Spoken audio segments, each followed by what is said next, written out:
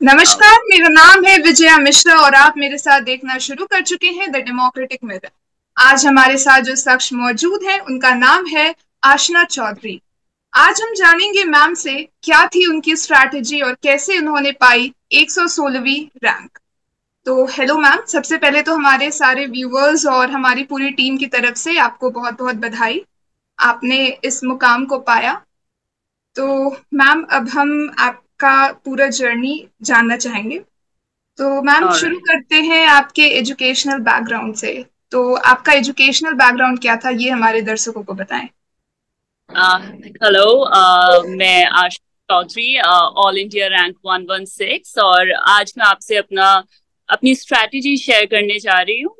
Talking about my educational background मैंने uh, मैंने अपनी schooling Delhi public school Ghaziabad से कंप्लीट की ह्यूमैनिटीज स्ट्रीम से तो पहले से ही मुझे थोड़ा ह्यूमैनिटीज की तरफ़ ज़्यादा अट्रैक्शन रहा है इसलिए मैंने इलेवेंथ uh, में ही ह्यूमैनिटीज स्ट्रीम ले ली थी उसके बाद मैंने बी ए ऑनर्स किया इंग्लिश लिटरेचर में लेडी श्री राम कॉलेज से and post that I did my masters in international relations from South Asian university and alongside I pursued uh, UPSC.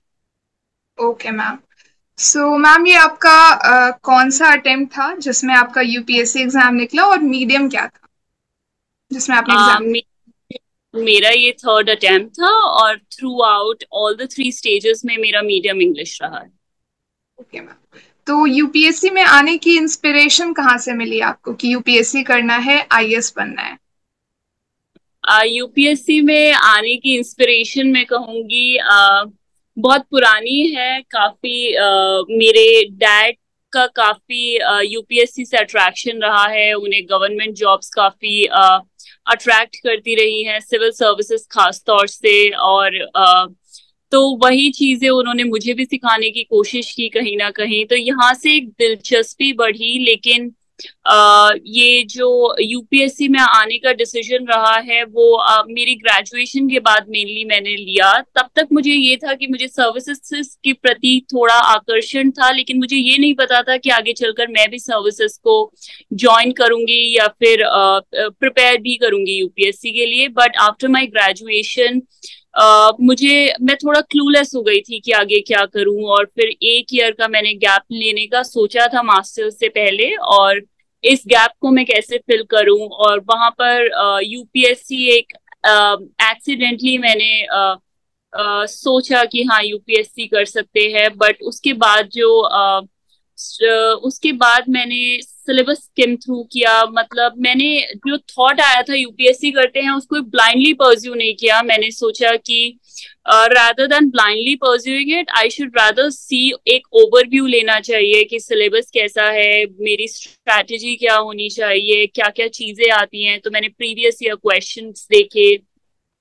मैंने कुछ स्टैंडर्ड बुक्स देखी उनके कंटेंट्स देखे उनके कंटेंट्स को थोड़ा क्लासिफाई करने का ट्राई किया समझने का ट्राई किया और जब मुझे लगा कि हाँ ये चीज़ें ऐसी हैं जो मैंने पहले पढ़ी हुई हैं तब मैंने सोचा कि हाँ शायद मैं यूपीएससी कर सकती हूँ।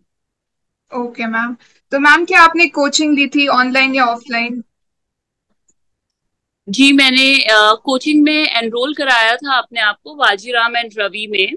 बट uh, मैंने वो कंप्लीट नहीं की थी। तो मैंने five five and half months में बाजीराम एंड रवि छोड़ दिया था। ओल्ड राजेंद्र नगर ही छोड़ दिया था। तो uh, मैंने कोचिंग कभी कंप्लीट नहीं की बट हाँ एनरोल ज़रूर कराया था और ऑप्शनल के लिए मैंने कोई कोचिंग नहीं की। तो आप बेसिकली डेली से हैं? Uh, मैं बेसिकली दिल्ली मैं दिल्ली से नहीं हूँ। मैं दिल्ली uh, सिक्सटी किलोमीटर्स दूर एक जगह है एक टाउन है पिलखुआ मैं वहाँ से हूँ। ओके मैम तो मैम आपका तीसरा अटेम्प्ट था तो पहले अटेम्प्ट दूसरे अटेम्प्ट तीसरे अटेम्प्ट तक आते आते आपके मन में कभी ऐसा नहीं हुआ कि कैसे करेंगे नहीं हो पा रहा है छोड़ देती हूँ? वो डेडिकेशन कंसिस्टेंसी का डेडिकेशन कहाँ से आया? कंसिस्टेंसी uh, एक ऐसी चीज़ थी जो शायद मेरे साथ एसोसिएट करना बहुत डिफ़िकल्ट था मेरे फैमिली मेंबर्स के लिए भी। So my mom always thought I am very impulsive by nature और उनको लगा था कि मैं शायद एक अटेम्प्ट देकर और छोड़ दूँगी। बट वो कंसिस्टेंसी आई जैसे जैसे मैं प्रिपेयर करने लग गई। शायद मैं सेल्फिश होती चली गई कि मुझे और पढ़ना है, और पढ़ना है। वो क्यूरियोसिटी थोड़ी सी जागने लग गई और मैं कभी इस प्रोसेस को गिव अप ही नहीं कर पाई क्योंकि ये इतना इंटरेस्टिंग प्रिपरेशन जर्नी थी। जी। तो मैम आपने किन यूट्यूब चैनल्स या वेबसाइट का यूज़ किया था अपने प्रिपरेशन के दौरान? तीनों साल के प्रिपरेशन के दौरान, खासकर ये जो तीसरा अटेम्प्ट जिसमें आप क्वालिफाई करी हैं, उसमें। बिल्कुल। uh, मैंने अगर मैं प्रिलिम्स की बात करूँ तो प्रिलिम्स के लिए मैं uh, हमेशा बाजीराम एंड रवि का मेरे पास पोर्टल एक्सेस था तो मैं डेली करंट अफेयर्स अपने प्रिलिम्स के लिए उस पोर्टल से करती थी। उसके बाद यूपीए उसके बाद अन अकेडमी पर एक टी ट्वेंटी टेस्ट सीरीज़ होती है जो कि आपकी फ्रीली अवेलेबल होती है। मैंने उस पर भी डेली करंट अफेयर्स के टेस्ट दिए तो अराउंड ट्वेंटी क्वेश्चन उसमें होते हैं। अराउंड नहीं ट्वेंटी क्वेश्चन ही होते हैं तो वो ट्वेंटी क्वेश्चन मैं आंसर करती थी और जो क्वेश्चन मैं आंसर नहीं कर पाती थी, उन्हें मैं एज फैक्ट्स उठाकर अपने नोट्स में डाल देती थी। तो ये तो प्रिलिम्स के लिए मैंने ये दोनों चीज़ें प्राइमरीली की हैं वाजीराम एंड रवि का पोर्टल और T twenty test series Unacademy की। अगर मैं मेंस की प्रिपरेशन की बात करूँ तो वो मैंने ऑनलाइन सोर्स अगर मैं उसका देखूँ तो जी एस फोर के लिए मैंने एस अंसारी सर की वीडियोस को फॉलो किया है और ये ऑनलाइन अवेलेबल थी यूट्यूब पर लास्ट ईयर्स की। तो फिर वहाँ से मैंने ट्राई किया अपनी प्रिपरेशन को एक ट्रेजेक्ट्री देने का स्पेशली एथिक्स के लिए जी एस फोर में। और इंटरव्यू के लिए मैंने राज्यसभा टीवी के यूट्यूब चैनल को फॉलो किया। ओके okay, मैम तो मैम बेसिकली आपने कुछ नोट्स खुद से बनाए थे कुछ इंस्टीट्यूट ने आपको दिए और कुछ यूट्यूब चैनल्स के थ्रू आपने तैयारी करी। जी। तो मैम सी सेट के बारे में कुछ बताइए आप कि उसकी तैयारी कैसे करनी चाहिए और कितना सीरियस होना चाहिए सी सेट के लिए। मैं अगर सच बताऊँ तो मैंने सी साइड के लिए कोई तैयारी नहीं की थी तो uh, शायद मैं लास्ट पर्सन होनी चाहिए जो सी सैट की स्ट्रैटेजी अपनी शेयर करे क्योंकि मेरी कोई स्ट्रैटेजी ही नहीं थी सी सैट की। uh, मैंने कोई सी सैट के लिए कोचिंग नहीं की थी but I was able to clear C SAT in all the three attempt और उसका शायद रीजन था कि मैं ट्राई करती थी कि मेरी एफिशिएंसी थोड़ी ज़्यादा हो सी सैट में compare to coverage of more number of more number of question तो मेरी एफिशिएंसी पर शायद मेरा ज़्यादा फोकस था। और कॉम्प्रहेंशन uh, मैं अच्छे से अटेम्प्ट करती थी। मैथ्स uh, के uh, मैं शुरुआत हमेशा मैथ्स के क्वेश्चन से करती थी क्योंकि उसमें आपकी एफिशिएंसी हाई होने के चांसेस होते हैं। अगर आपको आंसर आता है तो आप टिक करते हैं नहीं आता तो यू मूव ऑन रीजनिंग में आई वॉज़ फेयरली गुड तो मैथ्स के बाद मैं रीजनिंग का रीजनिंग अटेम्प्ट करती थी। And getting done with both these things जो बाकी uh, समय बचता था उसमें मैं कॉम्प्रिहेंशन अटेम्प्ट करती थी लेकिन मैं आंसर उन्हीं क्वेश्चन करने का ट्राई करती थी जिसके बारे में मैं श्योर हूँ।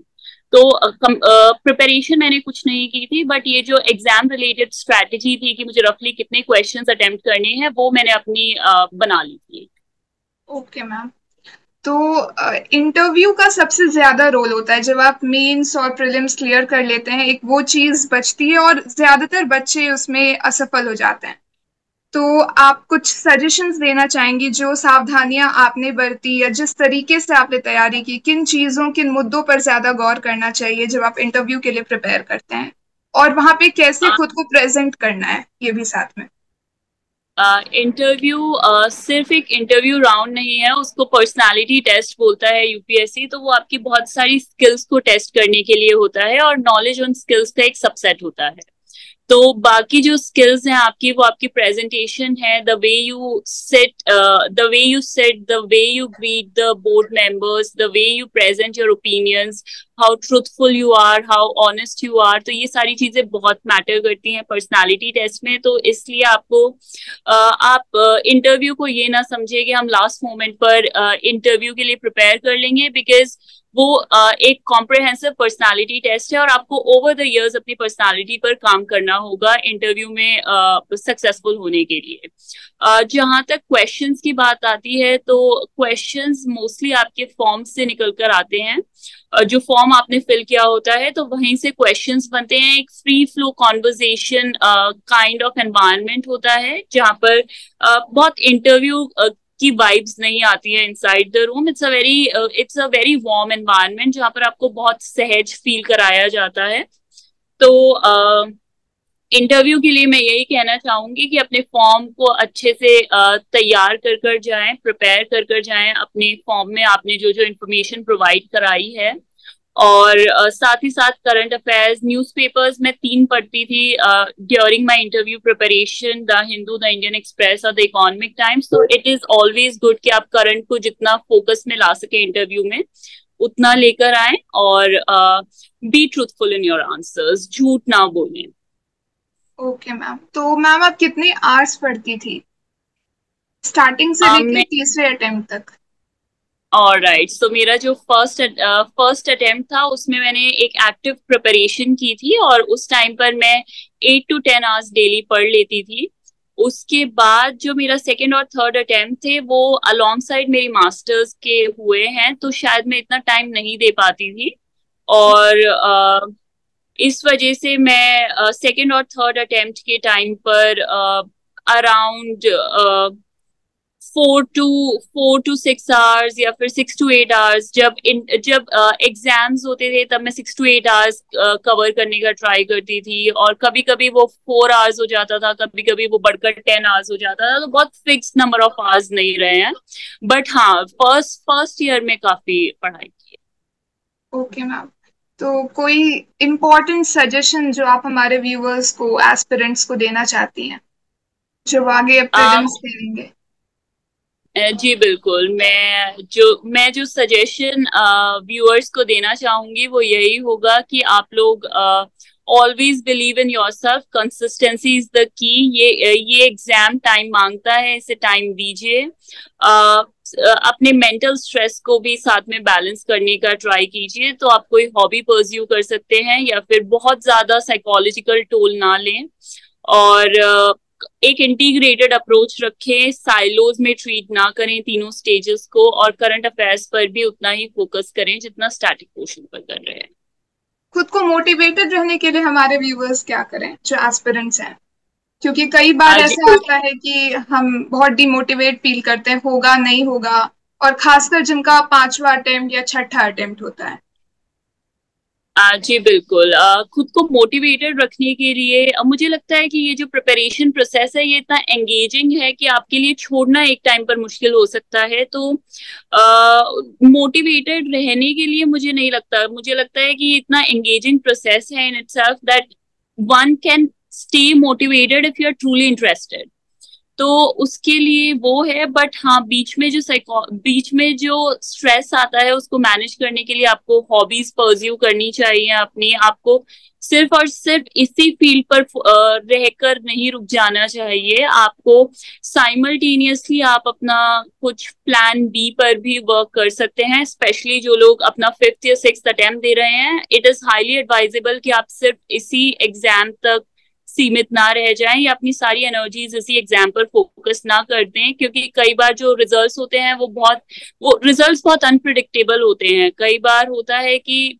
आपने पूरी मेहनत की है बट आप स्टिल क्लियर नहीं कर पाए हैं तो आपके पास हमेशा एक प्लान बी होना चाहिए कि आप फॉल बैक कर सके किसी चीज़ पर। तो वो आई वुड से कि सबसे ज़्यादा इंपॉर्टेंट होता है to stay motivated and uh, as well to be able to come out of the stress that the exam or the failure from the exam creates.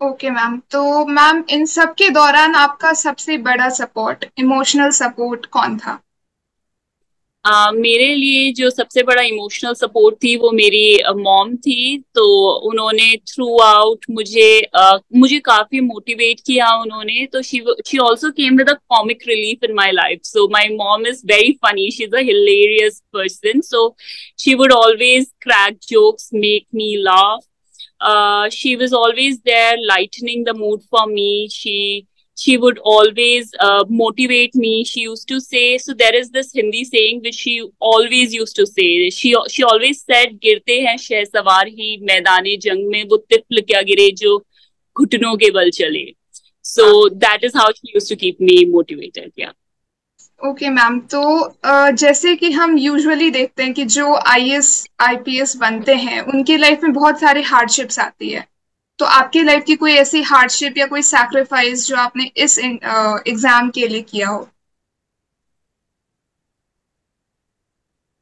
मैं एग्ज़ाम का क्लियर ना होना और बार बार उसी साइकिल में फंसना, वो एक हार्डशिप इन इटसेल्फ है but I am really sorry I am a very very very optimistic person तो मैं अगर कोई चैलेंजेस आते भी हैं मैं उन्हें ज़्यादा टाइम तक याद नहीं रखती हूँ। तो in order to tell you are challenge I would really need to probe into my memory तो थोड़ा I I don't know I I I can not really recall क्या ओके मैम तो मैम अभी जैसे कुछ टाइम पहले aspirants नाम की वेब सीरीज़ आई थी। आपने देखी थी?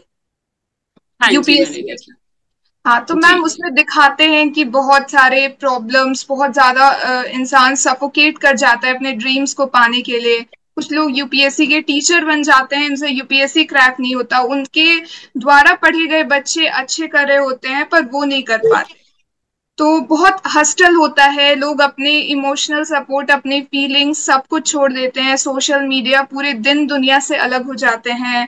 ना सोशल मीडिया यूज़ करते हैं और उसमें ये भी दिखाया गया है कि कैसे वो अपनी गर्लफ्रेंड से भी ब्रेकअप कर लेता है और एट दी एंड आई बन जाता है तो मैम आपको क्या लगता है कि क्या ये कदम उठाना चाहिए मतलब सब कुछ छोड़ के करना is it worth it Uh, I would say the exam is uh, it is a quite big exam and it comes with a lot of responsibilities. But managing stress at the time of preparation is also a part of uh, also a part of uh, making you learn how to handle responsibilities in a manner. So, अगर आप अपनी अगर आप अपनी personal life और अपनी जो ये प्रिपरेशन जर्नी है उसको अलग नहीं कर सकते हैं तो I think there is a problem you need to set back you need to identify that problem and understand what the problem is so I would say I would really suggest कि आप अपनी personal life को एक back seat ना दें या फिर आपके अराउंड जो आपके फ्रेंड्स हैं आप उनको इग्नोर ना कर ना करना शुरू करें। Just because you are writing an exam it is very much possible to be writing the exam and to be clearing the exam even while balancing your relations uh, on the side. So uh, I, I I wouldn't agree कि आपको इस exam में पागलपंती की हद तक पहुँच जाना चाहिए जहाँ पर आप पूरी दुनिया से कट ऑफ़ हो गए हैं। मैंने हमेशा अपनी सोशल लाइफ को बैलेंस किया है एग्ज़ाम के साथ एंड आई रियली थिंक वो पॉसिबल है और उसके काफ़ी पॉजिटिव्स भी हैं। आपको एक बहुत पॉजिटिव माइंडसेट मिलता है। People around you encourage you to work hard आप ज़्यादा फ्रेश माइंड से पढ़ाई कर सकते हैं। तो बहुत ज़्यादा स्ट्रेस और वर्कलोड कम हो जाता है जब आप अपने सोशल जब आप अपनी सोशल लाइफ को भी इक्वल इंपॉर्टेंस देते हैं।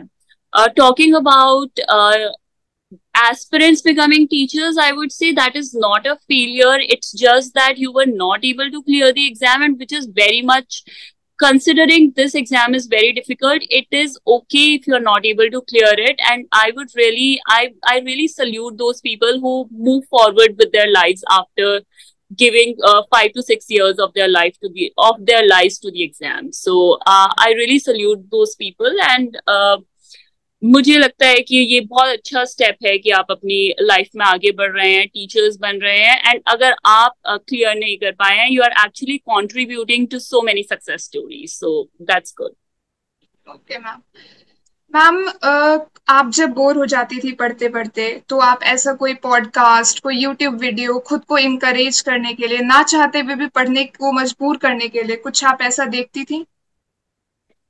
मैं जब बोर हो जाती थी तो मैं स्टैंड अप कॉमेडी देखती थी मैं कॉमेडी शोज़ देखती थी तो मुझे एक रिलीफ चाहिए होता था। तो मैं वही करती थी। मोटिवेशन के लिए मुझे लगता है कि एक मेरे अंदर थोड़ा इंटरनल मोटिवेशन ज़्यादा आता है। Rather than listening to someone speak and making me motivate I would rather prefer कि वो मोटिवेशन अंदर से आए। तो मैं बहुत मोटिवेशनल वीडियोस नहीं देखती थी बट यस yes, मैं uh, थोड़ा अपना माइंड को फ्रेश करने के लिए कॉमेडी कॉमेडी सीन्स देख लेती थी स्टैंड अप शोज़ देख लेती थी तो वैसे मैं अपने आप को रिफ्रेश करती थी।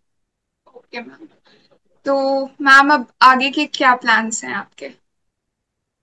आगे के मेरे प्लान्स अभी कार्टर एलोकेशन आएगा so I am really looking forward to that उसके बाद ट्रेनिंग फ़ेज़ होगा so I really hope I am really geared to work at the ground level. I would really like to be trained in the real life settings. तो उसके लिए मैं काफी uh, मैं excited भी हूँ बट मैं काफी नर्वस भी हूँ रिगार्डिंग द सेम थिंग और uh, Baki, uh, I would come with an open mind. Whatever service I get, whatever cadre I'm allotted, I would uh, give my best to the services and I would work at the ground level. I would work for the people, serve the nation, and uh, I would uh, I would try to follow the bottom up approach as much as possible rather than the top down approach. So that is uh, that is my strategy when I get on the field.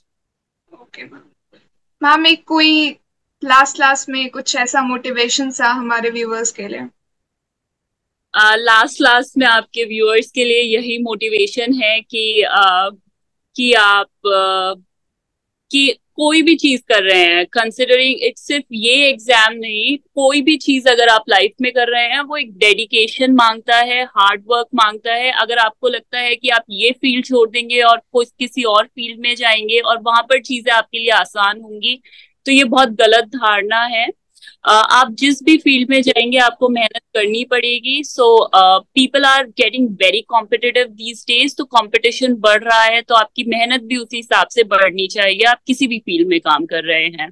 तो अगर आपको लगता है सिर्फ़ ये UPSC journey बहुत difficult है और बाकी चीज़ें आसान है तो ये गलत है। तो I would really I would really suggest that आप जिस भी फ़ील्ड में जा रहे हैं, आप पूरे हार्ड वर्क आप अपना हार्ड वर्क दीजिए, आप पूरे डेडिकेशन के साथ जाइए चाहे वो यूपीएससी हो या कोई और फ़ील्ड हो आपके लाइफ में। Exactly exactly. सारे फील्ड्स के अपने स्ट्रेंथ हैं वीकनेस हैं और सब में काफ़ी मेहनत लगती है। तो thank you so much ma'am for this wonderful interview wish you all the best for your future endeavors and thank you so much thank you